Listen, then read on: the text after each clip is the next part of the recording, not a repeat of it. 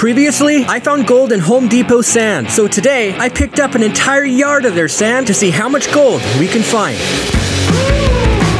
I can't wait to see how much gold we find today, but for that to happen, we first need to swap this vehicle with a U-Haul so I can pick up the most sand I've ever got. This better be worth it. Good morning, Home Depot, my old friend.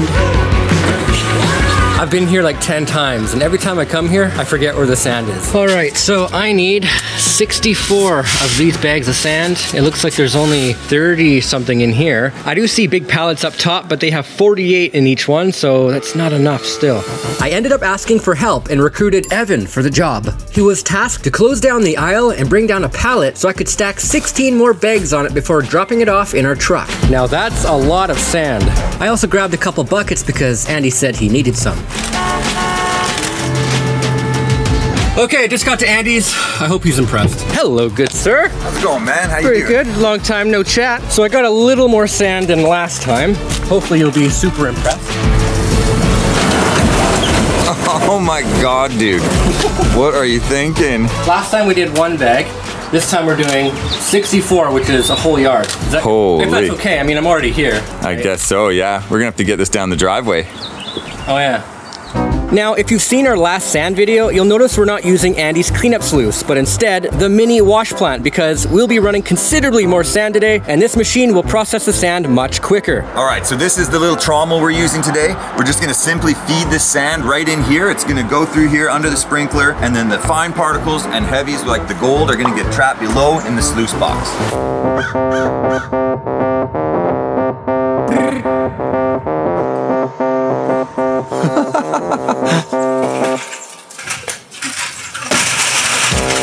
Why do you got so many buckets, man? I thought you, thought you needed them. I don't need them, no. So one by one, each bag was hand carried to the bottom of the driveway. I did not think this through. But after just a handful of bags, Andy had an idea. This is definitely gonna make things easier. Our last bag of sand. I knew there was a reason I brought a bucket. All right, so now that we have all the sand down here, finally, we're ready to run.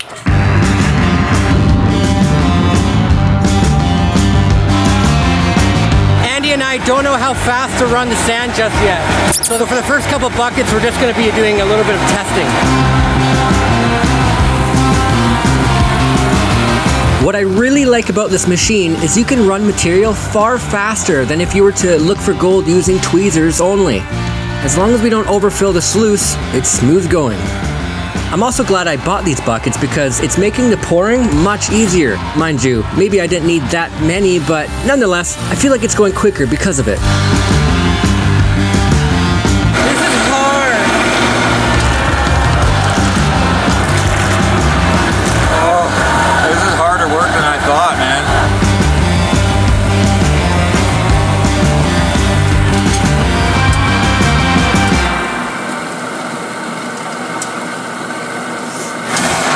Do stuff like that. Do you think there's gonna be gold in here? Uh, I think there's a really good chance, yeah, judging on what we got last time. I think that we're gonna be able to at least buy dinner or maybe even a small vacation for the two of us. Could you actually imagine if there was like five ounces in here? We would start a Home Depot gold rush for sure. If we can hit like a gram of gold, I'll, I'll actually be very impressed. I'm not sure why, but looking for gold in sand is actually kind of fun. It makes me wonder where else you could find gold. So we've only done 17 bags so far, and obviously we still have, I don't know, I'm not doing the math, but we still have more to go.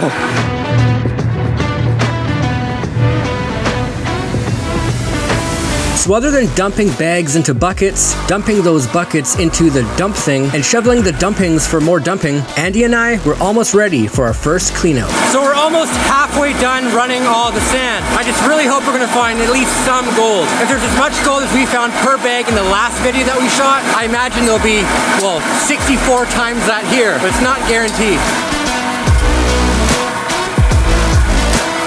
I noticed I cut my leg when I lifted one of those buckets because I was using my legs to lift it. I guess one of them didn't like me. Okay, so an hour and a half later, we are finally down to the last bucket, which means we're only halfway done the material. That's only halfway. Only halfway. I thought we'd be done like an hour ago, but it really took us like an hour and a half to get halfway done. So let's have a quick look at the sluice box. Now, if there's any gold in here, you're not gonna see it from here anyway. But uh, yeah, look, it doesn't look like anything's over full. You can still see some black sand in there, which means it is capturing the heavy material. So obviously I'm gonna let Andy clean this out because I've never used this before. Any nuggets? So what we're gonna do is we're gonna take this sluice and we're gonna clean it all into this to pan out later. Then we're gonna reset everything back up and then we'll run the remaining 32 bags of play sand. There's actually a chance we might see gold when we take this mat out and we rinse the white box into here.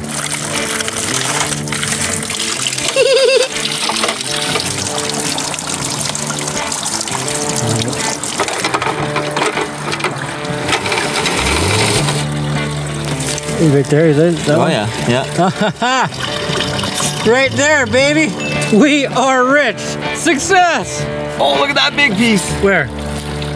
Right there, boom. Oh man, more and more. Oh my goodness. Look at that rock right there. Isn't that a beauty? Wow.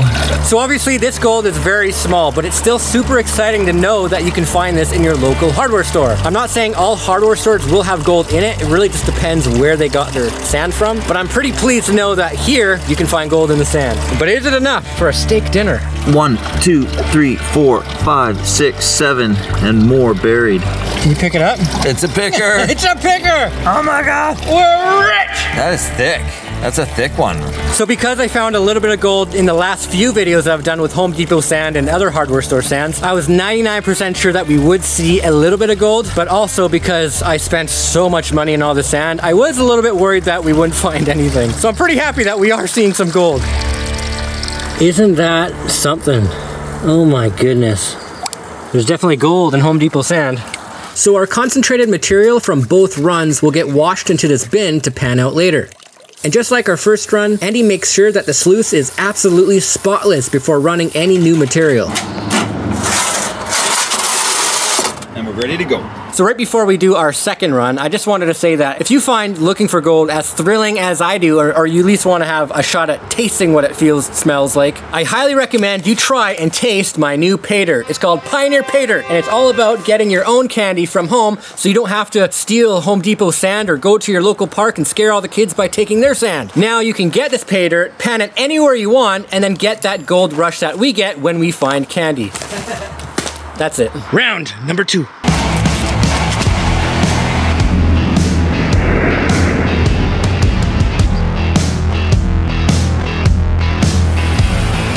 Do you think our second run will look better than our first? Or do you think, uh, I don't know. Keep watching to find out.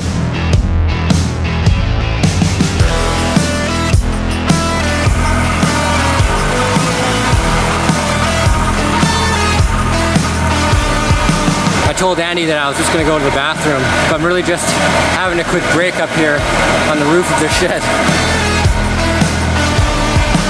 Slowly but surely, we were getting through all the sand and starting to get pretty tired. I was definitely getting sore from just standing in one position. So we are slowly getting through it all. It's taking a lot longer than I thought it would take, but way quicker than if we were to use just cleanup sluice to run all this.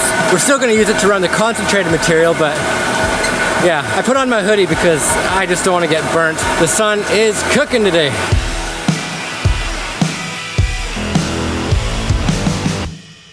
We are finally down to the last bag of sand. One thing's for sure, I'm never buying a bag of sand again.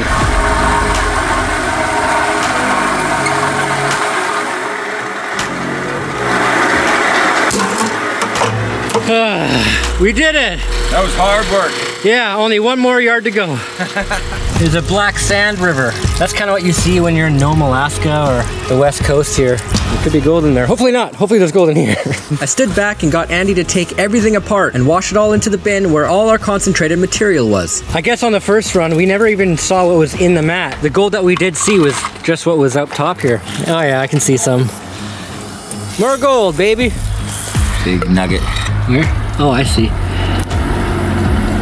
That's probably the biggest one that we've seen today so far.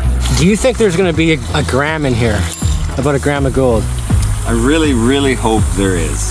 That Me would too. just be delightful. Gold always looks like way more when it's with the black sand, but I don't think it'll be a gram. I'll be really surprised if it is. If it's even a half gram, it's uh, that's a profitable venture. Oh yeah. We'll talk about profit at the end of the video. See how much see how much I spent versus how much we're making here. So this is the concentrates we got from 64 bags of sand. it's almost all black sand. And look at uh, what isn't in that bucket. We should return the sand back to Home Depot. This was also a time consuming part, but it was so much better than pouring sand all day. I got Andy to do most of it because I simply didn't want to. We found some gold on top of the spoon. It's a good sign that there could be gold around. And Andy just spotted a cute little garnet right on top of the spoon. Beautiful little garnet in there. Since this material is all the concentrated heavies, we were able to see most of the gold peek through. So it's been uh, 20 minutes or so. We're almost done scooping the concentrates. As you can see, we have a lovely line of gold in there. I'm really hoping that this will be the first time we get to weigh the gold that we ran through store sand because the last two times it wasn't enough to weigh. Okay, the last little bit here. Sweet. Now we're just gonna let this run for a few minutes here and let it settle and hopefully we'll see, well, I can actually already start to see a lot of gold in there. That is actually impressive. Wow. Again, I don't think there's gonna be a gram of gold in here, but that does not matter because we just found gold with Home Depot sand. That was a lot of work.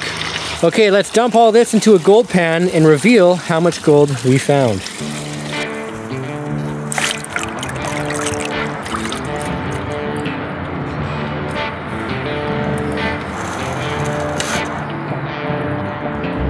Moment of truth. All those buckets, all that time and all that driving and money led down to this moment. You can start to see some gold showing through that black sand. So the black sand is actually pretty heavy as well. So that is why you sometimes see gold on the top of it. All right, how much gold did we find in uh, a yard of Home Depot sand?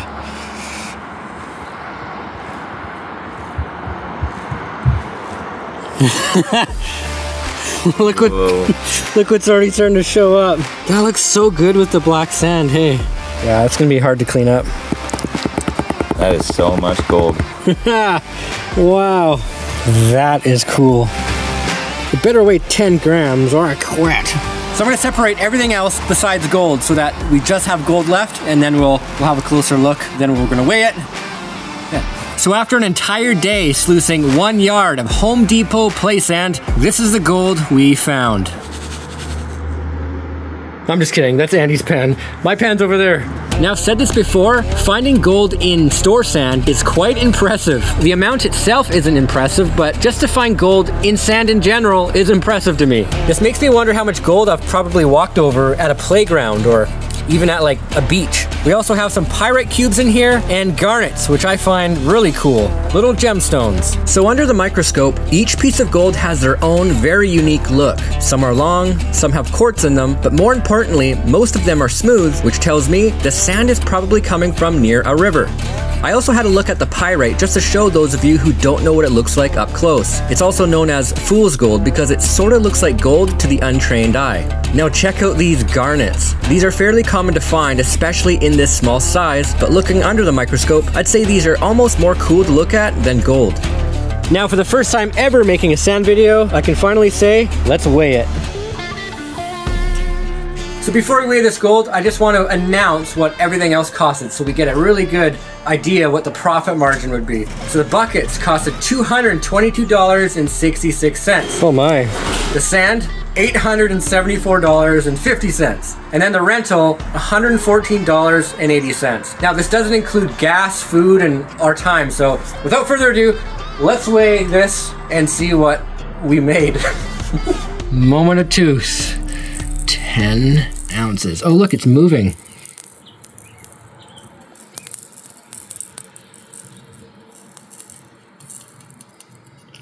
$485,000 worth of gold. That's awesome, buddy. oh, wow. 0.258 grams. So 25 bucks in gold. That's not that bad. It just goes to show that any one of you could go to your local hardware store and get gold yourself. Mind you, it's not that profitable, obviously. But what will give you more gold is Pioneer Paydirt because you're gonna get more gold in there and it does help the channel. So the only thing left for me to do is leave Andy with the mess. Thanks for watching, guys. Talk to you later.